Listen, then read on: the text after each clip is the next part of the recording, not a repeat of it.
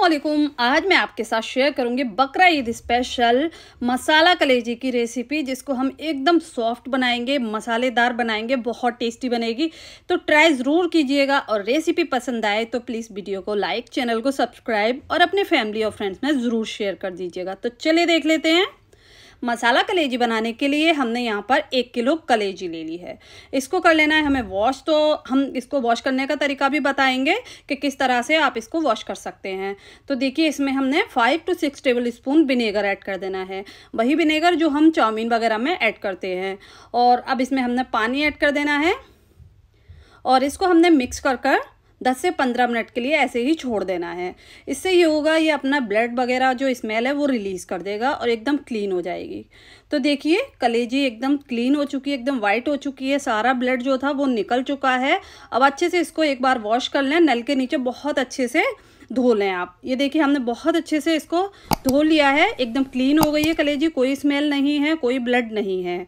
ये देख सकते हैं आप, बहुत ही इजी मेथड है। इस तरह से आप कलेजी को साफ़ कर सकते हैं।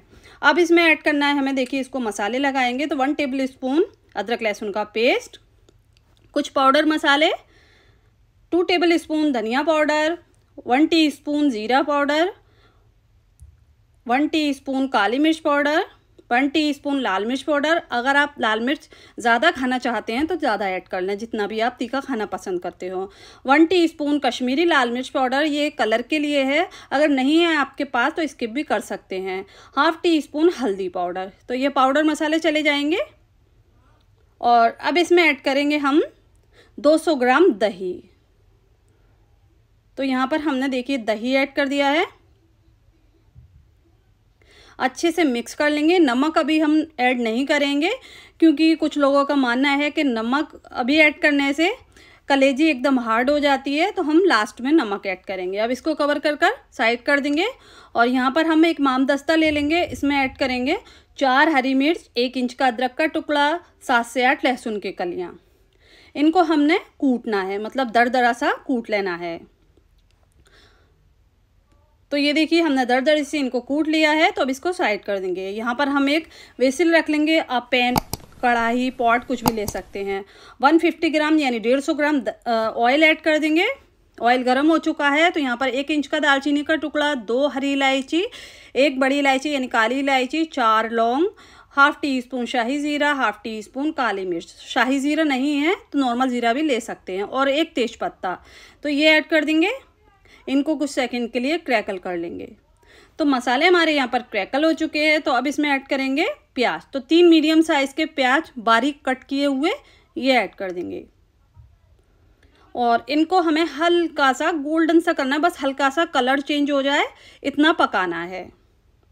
तो हाई फ्लेम पर आप इसको देखिए, इस तरह से पका लीजिएगा, हल्का सा कलर चेंज हो गया है।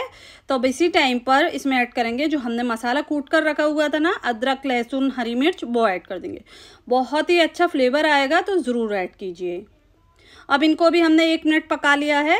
ये देखिए, बहुत ही अच्छी खुशबू आ रही है।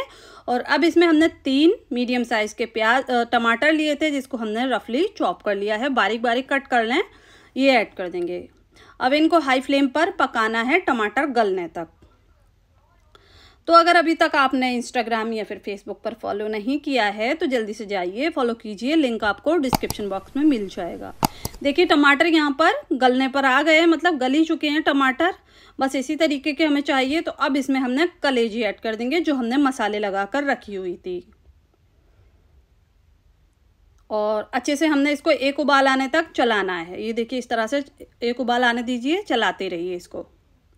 तो उबाल आने लगा है। ये देखिए, फ्लेम को हाई रखेंगे मतलब तेज़ फ्लेम ही रखिए। अब कवर कर देंगे पाँच मिनट के लिए।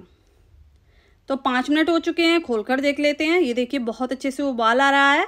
अब इसको हाई फ्लेम पर ही हमें भूनना है इसी तरह से। और हमने कोई पानी वगैरह ऐड नहीं किया। बस इसने अपना पानी रिलीज़ किया है कलेजी ने और दही का पानी, उसी में ये पकेगी। ये देखिए, हमने अच्छे से हाई फ्लेम पर इसको भून लिया है। कलेजी बहुत अच्छे से भुनने लगी है। इसका कलर भी चेंज हो गया है। ये देखिए टेक्स्चर देख सकते हैं, बहुत ही अच्छा आया है। तो अब इसी टाइम पर हम इसमें ऐड करेंगे one teaspoon garam masala powder और वन टेबल स्पून यहाँ पर हमने ऐड करना है कसूरी मेथी। बहुत ही अच्छी खुशबू आएगी तो ज़रूर ऐड कीजिए। अब इसको हमने भूनना है, ये देखिए। तो इस तरह से इसको भूनते रहेंगे हाई फ्लेम पर। जितना अच्छा हम भूनेंगे ना, उतना ही अच्छा कलेजी में टेस्ट आएगा। तो बस आप अच्छे से भून लीजिए, और कलेजी अच्छे से भुन चुकी है तो अब इसमें हाफ़ कप पानी ऐड कर देंगे। बस थोड़ा सा और इसकी कंसिस्टेंसी को बराबर करने के लिए। तो बस अब इसमें ऐड करेंगे नमक तो वन टीस्पून आप नमक ऐड कर लीजिए, या फिर जितना भी आप खाना पसंद करते हो, नमक कम या तेज़, उतना आप टेस्ट के मुताबिक इसमें ऐड कर सकते हैं। थोड़ा सा कट किया हुआ हरे धनिया, एक मुट्ठी। तो देखिए कलेजी बहुत अच्छे से हमने पानी डालकर भी इसको भून लिया है। बस फ्लेम को बंद कर दीजिए। आधा लेमन जूस ऐड कर दीजिए, बहुत ही अच्छा टेस्ट आएगा। नहीं ऐड करना चाहते तो स्किप भी कर सकते हैं। अच्छे से मिक्स कर लेंगे और बस ये सर्व करने के लिए रेडी है। तो यहाँ पर देखिए हमारी बहुत ही टेस्टी मसालेदार कलेजी एकदम सॉफ्ट बनकर तैयार हुई है। तो ज़रूर ऐड कीजिएगा। ये देखिए।